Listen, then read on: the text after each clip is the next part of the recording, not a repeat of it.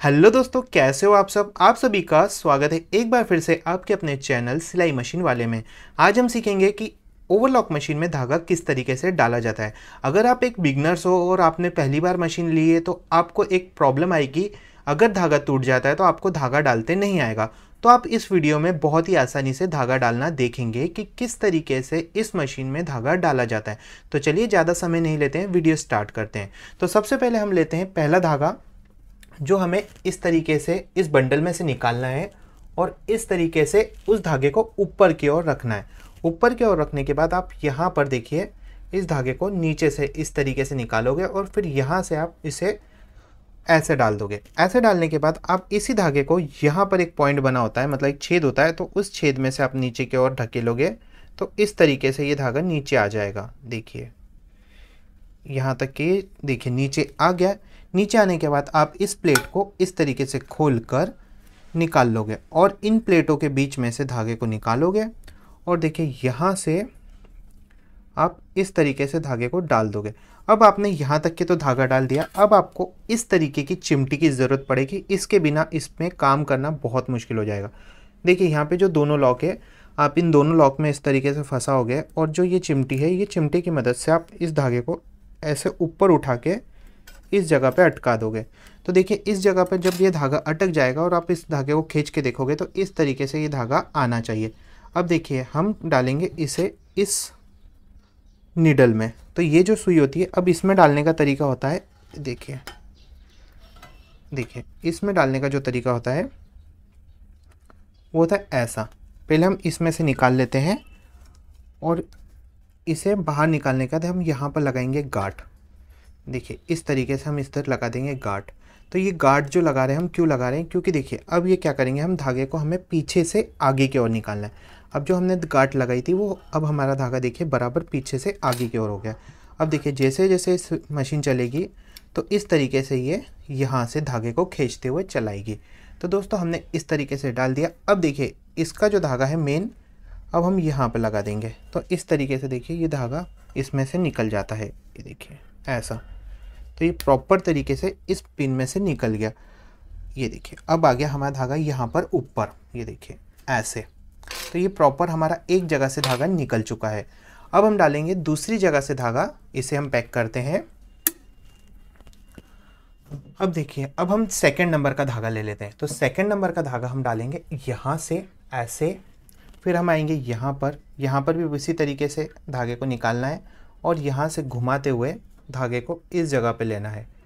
देखिए, इस तरीके से। और फिर हम यहाँ से लेंगे पीछे से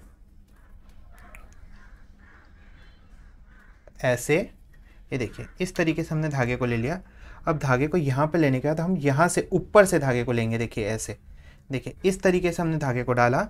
अब यहाँ से इन दोनों प्लेटों के बीच में से हम धागे को निकालेंगे और देखिए, ये जो धागा है, हम सुई के अंदर लगाएँगे इस तरीके से। तो ये हमारे दो धागे बहुत ही आसानी से लग चुके हैं। अब ये दोनों धागे को हम इस तरीके से पीछे की ओर निकाल देंगे, ऐसे। अब आता है हमारा तीसरा धागा, जो कि थोड़ा सा डिफ़िकल्ट होता है। तो अब उस पर हम ध्यान देंगे कि तीसरा धागा किस तरीके से निकालना है। तो देखिए, सबसे पहले इसमें भी वही करना है। ऊपर लाना है। ऊपर लाने के बाद देखिए, आपको धागे को इस तरीके से इस जगह पे लाना है और यहाँ से ऐसे निकालना है। ये आपने धागा निकाल दिया। यहाँ पर एक छेद होता है। देखिए, यहाँ पर एक छेद होता है। उस छेद में से आपको इस तरीके से धागा डालना है। मैं आपको दिखाता हूँ वो छेद कैसा होता है। ये देखिए, इस तरीके से वो छेद होता है तो उस छेद में आपको धागा डालना है। वो छेद में से धागा डालने के बाद आपको इस जगह पे ऐसा धागा लगाना है। ये देखिए, ऐसे अब ये धागे को निकालने के बाद अब इन दोनों चिब्बियों के बीच में से धागे को निकालेंगे ऐसे। और इसमें देखिए, यहाँ पर एक रॉड होती है, उस पर ध्यान दिया जाएगा। देखिए, यहाँ पर एक रॉड होती है, ये देखिए, ये वाली जो रॉड है, इसमें ये जो पाइप बना हुआ है ना, आपको दिख रहा है ये जो पाइप इस पाइप में से धागा निकलेगा। तो हम इसमें इस पाइप में से धागा निकाल लेते हैं, ये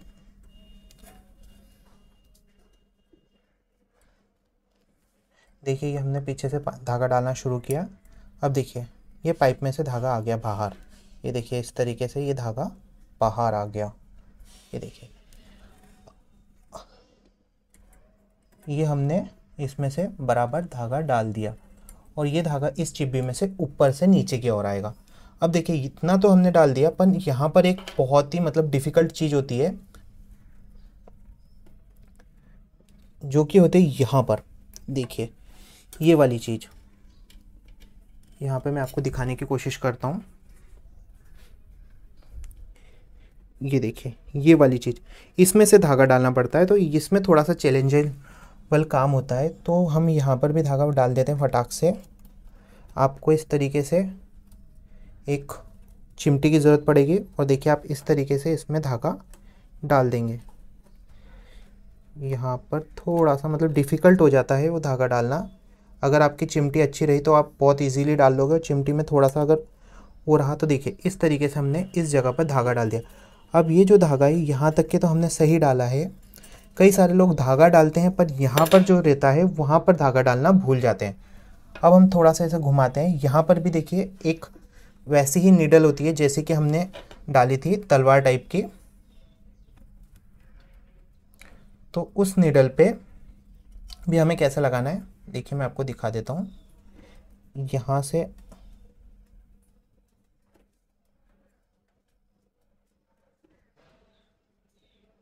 ये देखिए, ऐसे, फिर इसे घुमाना है, ऐसे, और फिर देखिए, इसे इस तरीके से पकड़कर हमें यहाँ पर लगा देना है।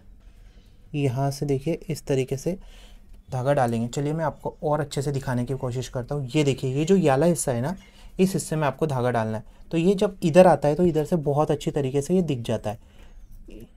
देखिए, ये अंदर से बहुत अच्छी तरीके से धागा इसमें से निकल गया। अब हम क्या करेंगे? मशीन को चला कर देखेंगे और पूरे धागों को ऊपर लेके आ जाएँगे। अब देखिए, हम याला जो धागा है, इसे पकड़ेंगे और ये धागों को कुछ नहीं करेंगे। देखिए, मशीन चलाई हमने।